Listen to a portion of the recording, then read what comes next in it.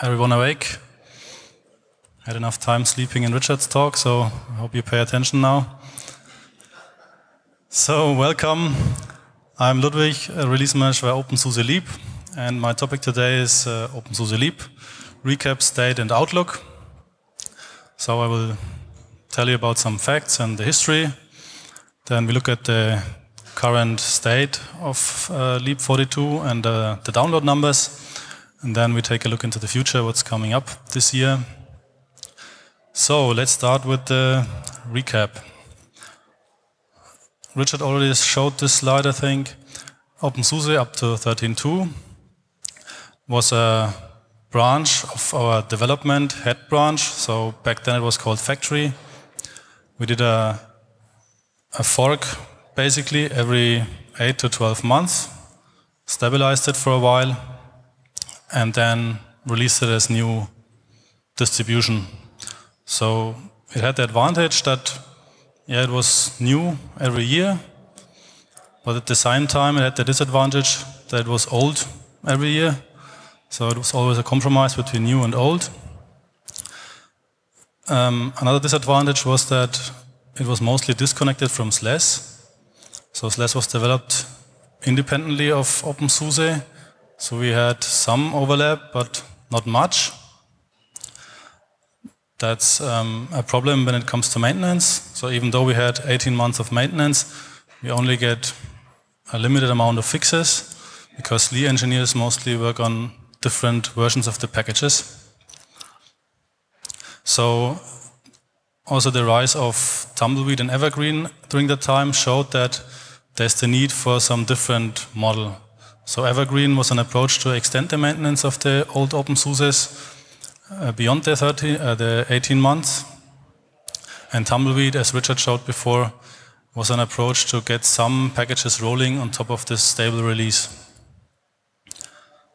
So around the same time of 13.2, we started to work on this new Tumbleweed, as Richard explained it before, which made Tumbleweed a new distribution of its own. So we no longer have this development head branch that is untested, that only contains stuff that, that is the latest and greatest, but not integrated. We converted it to a separate distribution. And that left room for something else, a more stable version, and that is Leap. So Leap, the idea behind Leap is to take SLES as basis. SLES in turn is also based on factory, but stabilized by SUSE engineers, better integrated.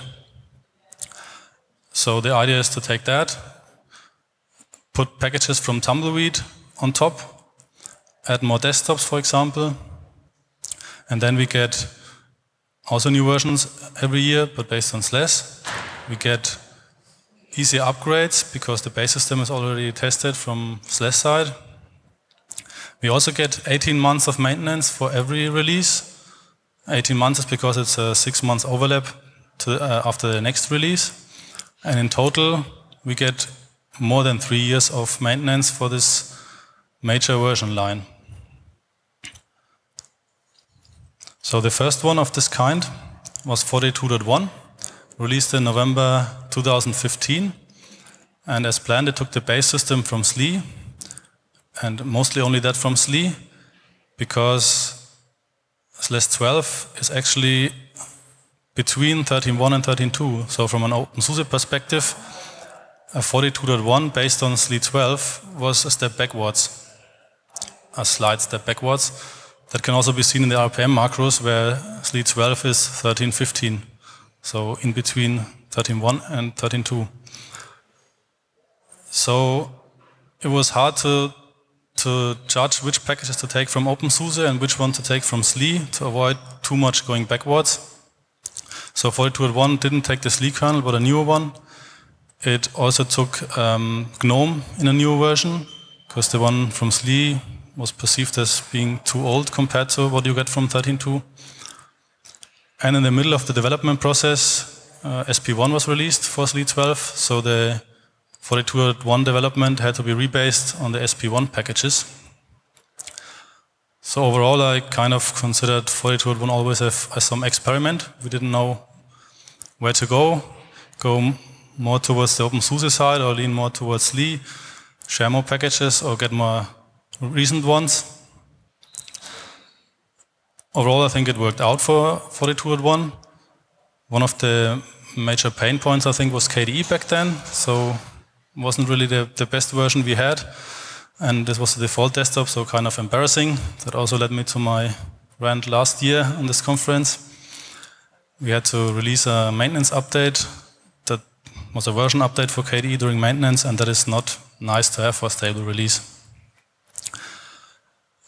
Um, a struggle we had during the development of 42.1 was also that SLES didn't adopt this development process of factory yet. So everything Richard explained in the talk before with, with, with staging and OpenQA, that was not adopted by SLES yet because it was too new. But Leap already had it. So we saw quite some fallout that was not detected by SLE. On the other hand, um, it already show, also showed the SLES guys that what we're doing there in Tumbleweed is quite cool, quite cool and they should adopt it for SLES.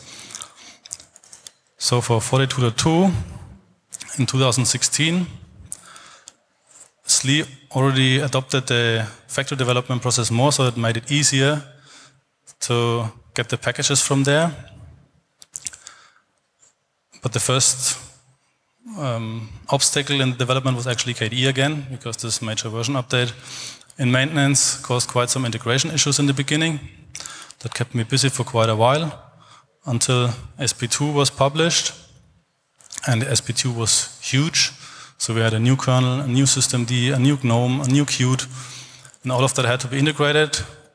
Overall, more than a thousand packages, I think. It was all but trivial to get Leap on that state. During the development of SP2, SUSE noticed that it's a good idea to take packages from, from factory because most work was already done there. For example, GNOME in 42.1 was slightly newer than in, in SLE 12, so the, the move to even newer version in SP2 was easier for them. But for that, they had to take the packages from factory, which had conflicting changelog entries compared to the one in SLES. That was quite some challenge to figure out the right way to do that. In the end, SLE release management agreed to accept factory change logs without uh, merging old entries in there or somehow mangling change logs. I think there was a, a big step towards common sources, and um, thanks for that. It was a great compromise from SLE side. The only um, condition that we have to fulfill is that we don't lose bug numbers or CVE entries in change logs.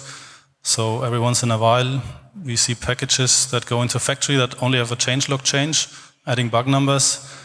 Uh, if you're a community packager, please accept them. They help us to keep SLES and factory in sync. So that's from the time of 42.2. Um, what we also got with 42.2 was the Leaper bot. It's a bot that helps mostly release management to see which packages come from where. It comments a new request and complains loudly if they are not from factory, for example. Um, the release of 42.2 had to be delayed for Plasma, we made a compromise with the KDE team after my rent the conference that we integrate the Plasma 5.8 long-term release into Leap. So for that we had to delay our release and they would move their release date earlier. So with that we could manage to get a long-term supported Plasma as default desktop again It was a big risk because really we didn't know what the quality of that thing would be. The schedule was very tight. And um, to the outside, it looked like it was released upstream. Then we put it in the distribution, and the next day we had it there, working and fully tested. But that, that was not what happened. It was a lot of work behind the scenes, weeks and months before. Uh, our KDE team created those uh, live CDs, uh, Argon and Krypton. They were already tested in OpenQA, so a quite big chunk of integration work and bug fixing was already done via those live CDs. Also, Dominique was so kind to accept KDE release candidates into staging. So normally in factory we only accept the latest stable release from upstream. But as long as uh, KDE is in, in beta RC phase, it's not a candidate for factory. Nevertheless, we put it in staging already, so we could get the same package that are candidates for factory in Leap and accepted them in Leap. So later, Leap betas already had the pre-releases of Plasma. At the release day of, of Plasma 5.8, it was quite, quite easy to do this minor jump to the final version. So big thanks to the KDE team again for doing that. Also to Upstream, thanks for making the Plasma long-term service release. And I had no complaints for the default desktop on 42.2 as far as I know, so great work from everybody. Yeah, so everyone is interested now in how 42.2 did. I'll put in the graph here. And um, while you're staring at it, I'll drink a bit.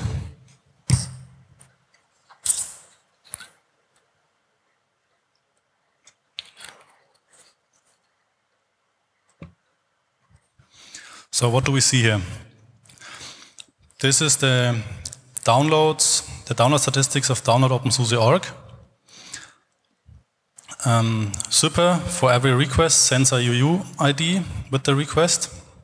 So we know, even with changing IP addresses, which system downloads packages. And um, by looking at all repos on, that are published on download.openSUSE.org, we can relate the repo with the distribution. So this is not just the official update repo, but this is all OBS repo. So even if packages built for like 13.2 in their home, it would be reflected here. So on the y-axis, we see the number of UUIDs, that is the number of active users we have per month. So once a UUID shows up in a third month, it's accounted here. On the x-axis, we see the time back to 2012. So what else can we see?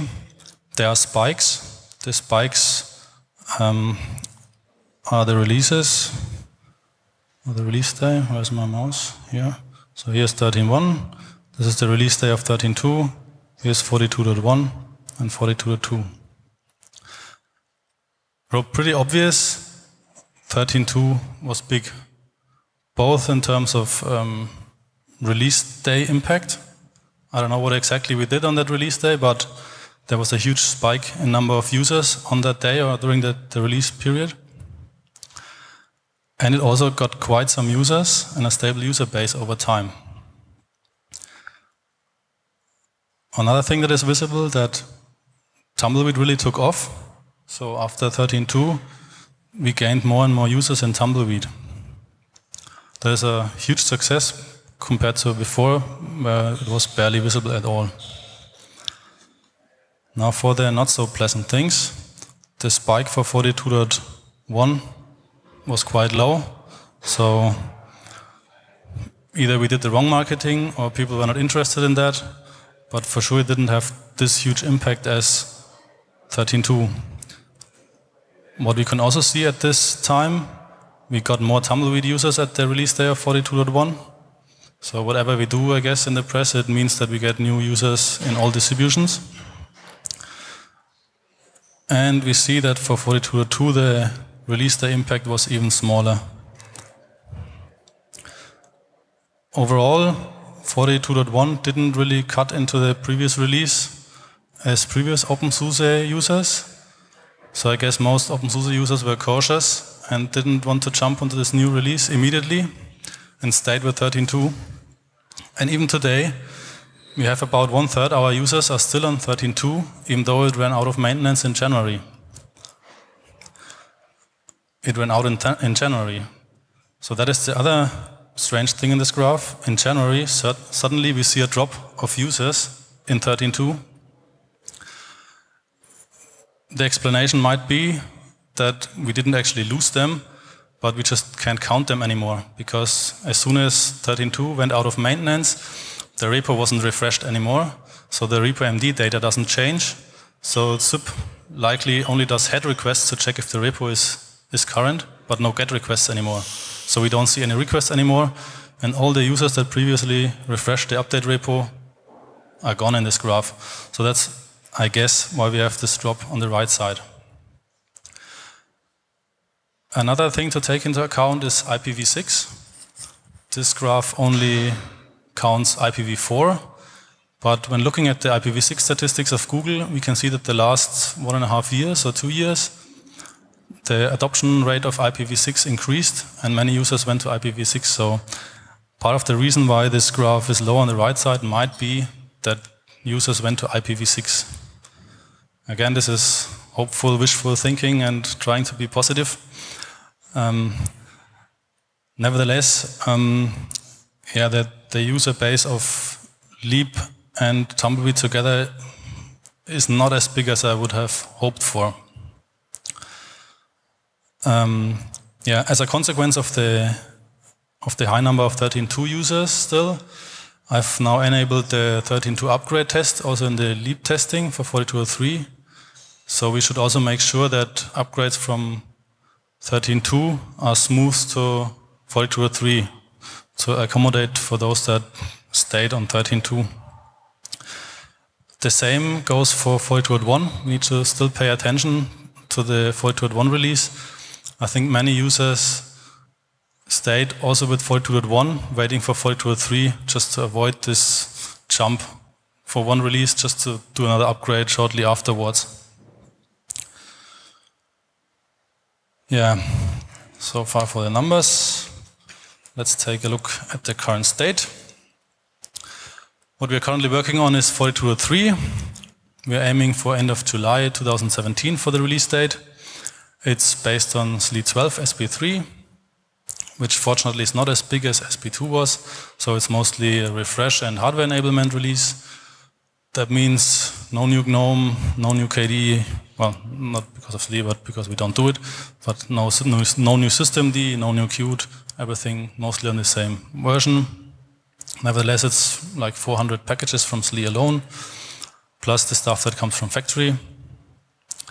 What we can also see in 4203 is that SLE release management takes the factory first policy really serious. So packages that go to SLE and a version upgrades there first go to factory and then to SLE, or at least at the same time. So that really helps us to develop 4203 in parallel to SP3 and benefit from mutual bug reports, for example. So even bugs that come on on Leap side can be addressed on SLE side. Uh, what also happened is that the Leaper bot that we introduced in 4202 is now used on SLE side internally. So SLE release management also knows um, when packages diverge from factory, for example. Yeah, um, some roadblock for the development are NDAs. That is mostly a SUSE internal thing to solve. Some feature requests have a non-disclosure agreement, so cannot be put to the public before a certain date. But since we want to develop in parallel to SLE, that way we lack some packages that we would like to have and test. Also new in the 4203 development is the rolling release process. So we took the tools from Tumbleweed and instead of doing manual snapshots every four weeks or every two weeks or whatever and having fixed deadlines, uh, like on Friday, you need to submit all your packages to get it on the snapshot on Wednesday. We now do a rolling model, and packages are checked in anytime when the stagings are green. Snapshots are released automatically by OpenQA when it's green. That is pretty nice for, for me as release manager because I, I can call it a day on Friday and I don't have to work on Sunday and our package is the same. But it's also a problem for marketing because we have no milestones anymore, so there's no big news in the press. Um, yeah, we have to find a solution for that to raise awareness. So far, I've, I haven't seen too much 4203 bugs. I don't think we're bug free, so I think we, it's not just not tested enough. Meanwhile, we also reached beta phase. That is also not that visible due to this rolling model, but SLE is mostly done with its beta phase, so base system is quite stable, so we can also call it a beta phase. So if you if you're on 4202, for example, and uh, just slightly adventurous, go to 4203, it's stable enough. Those slides run on 4203, my workstation runs on 4203, so whenever there's a problem, I share the pain. Um, What else? It's x86-64 only. Um, we do have the port sub-project for ARC64 and Power, but so far I didn't see much activity. And for ARC64, it's OpenQA is red, so I don't know if anyone takes care. Officially, we only have x86-64. Yeah, what's new? We got more than 10,000 packages more than in in the previous release. So we are at 10,100 now. Tumbleweed is at 11,000. Why do I know that we are above 10,000? I noticed because 10,000 is the quota of OBS. So I did a check-in, went home, and then suddenly OBS didn't build any single package anymore because I went over the quota. So I had to go to Adrian and ask him to please lift the quota and let us build more than 10,000 packages in 4.2.3. Um, new is also the desktop selection. Since in 4.2.2 I tried to get rid of enlightenment and Simon complained loudly. Um, we need to find different solution for this desktop selection dialog and now have it. It's based on this SLES role selection. It's not as fancy as the old desktop selection, but it fulfills the job. And it allows us to treat, let's say, second tier desktop environments all the same. So instead of having XFCE there for whatever reason and enlightenment there for whatever reason, we now have the primary selection, GNOME and KDE, and all the other ones via the, the role selection custom item. Yeah, we also got this Python single spec macros in meanwhile. So finally we can put Python modules from factory again into 4203. And all the other new features can be seen in this wiki page, but it's empty. so nothing more from me here to report. That also directly leads me to the contribution section for 4203. Please, please, please fill in this feature page. Otherwise, marketing has nothing to talk about. If you put any new package into Leap, it's more than 1,000, so there must be something new in there. Please mention it in the wiki page. That's where marketing is looking. Also, if, if you implemented some great new things in the existing packages, please add it there. Of course, please test it. We promised smooth updates from previous releases, and that doesn't happen automatically. We need people to test that. We especially need to test on physical hardware. We have OpenQA testing in KVM, but we really need to test on real hardware. Then um, translations is also a topic to contribute. All of it is meanwhile in WebLate, even the desktop files. It's really easy for beginners to go there, just log in this website, pack your project and start translating. Then the custom software selection dialog needs to be fixed. Still doesn't work as expected for some desktop environments. Also, we need desktop environments to actually ship patterns to be visible there. So if you're a maintainer of some second tier desktop environment, please uh, create a proper pattern and test it uh, that it works in the installation process. Then we have software OpenSUSE org that is also still waiting for contributors. It's a Ruby on Rails application. We got a proposal from Richard from more than a year ago it's in there in some branch, a redesign of the website, but we need to get it live. So we're looking for Ruby on Rails developers to make that happen. If you are one and are interested, please approach us so we can set it up. Yeah, and for our users are the release notes. So if you have any incompatible changes or noteworthy glitches, for example, please file a pull request on the release notes. Last but not least, please do beta pizza parties. Even though we don't do beta announcements, they are quite useful for local communities to get together and try the new release, uh, maybe get new users. From now on, all snapshots are better quality. Just pick anyone and do your party. So far the current state. Now let's look beyond 42. The next major version is, version is 15, Yahoo. Uh, yeah, the version number is uh, decided, so the OBS project is created. feel free to rant about it over beer or something, but won't change anymore. Um, what's going to happen? SLE is going to fork from factory again quite soon. So they have the beta in September already. We are aiming for release in March 2018.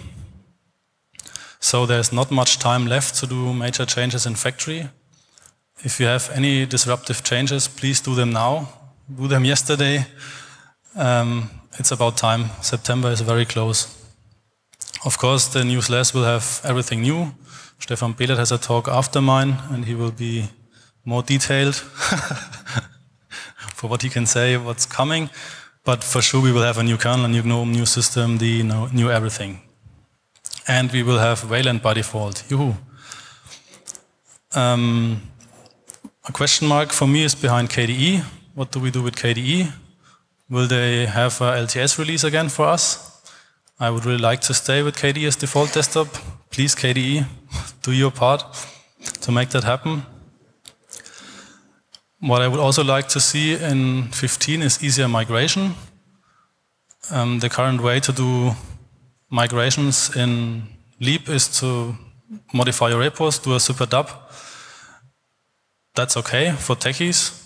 But SLES has a better mechanism. It has a YaST module, so it's really easy to jump from one service pack to the next.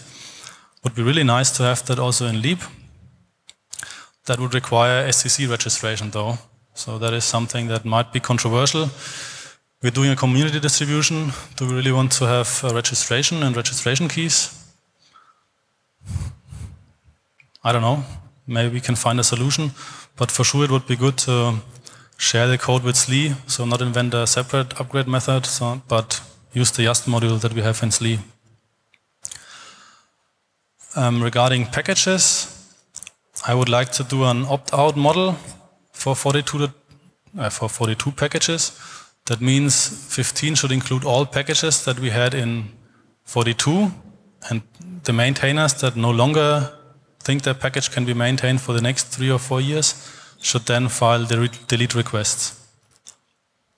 All the new packages that are coming from Tumbleweed will be opt-in, just like now. So we, we may do rounds of automatic submissions, but still all package maintainers have the option to decline the reviews that gets opened. Yeah, so that's already my part of this talk. Any questions from the audience?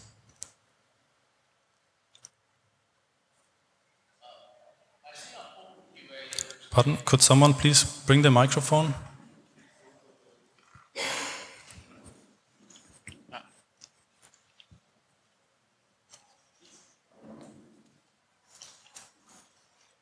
I see on OpenQA that there's a uh, test um, platform for 42.3 JeOS. Is that actually going to be a product? Um, yes and no. Um, I think there's no one full-time working on that. We would like to see that happening, but it currently lacks workforce. So it shouldn't be too hard to get that running. Might be a job for volunteers to just look at it, fix one or two things and get it running. Shouldn't really be hard. But it's not an official delivery. If it is green at the time of release, I'm more than happy to offer it as official part of the release.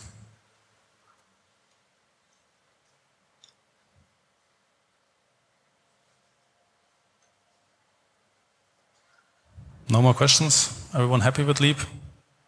No version discussions? Should we release on Friday the 13th? I noticed that uh, 4.3, uh, the kernel is also based on SLE, so it's 4.4. Yeah. Um, that's great if you run it on a servers or let's say a bit older hardware, but how about let's say if people want to, to, to run it on the on the on the latest uh, hardware or let or let's say uh, uh latest network cards or Wi-Fi cards or something like that. Uh, so yeah, it's the 4.4 kernel, and it's not made for the latest and greatest hardware. But fortunately, we share the kernel with SLES, And SLES is not just the server, but also SLED, the desktop. And um, SUSE does backports of drivers to that kernel. So I also saw a separate um, kernel module package for graphics drivers, for example. So there is some hardware enablement in this in this kernel. I mean, we cannot guarantee for everything, but there is hardware enablement. And if in doubt, of course, you can also use 4203 with a new kernel from Tumbleweed, if you need to.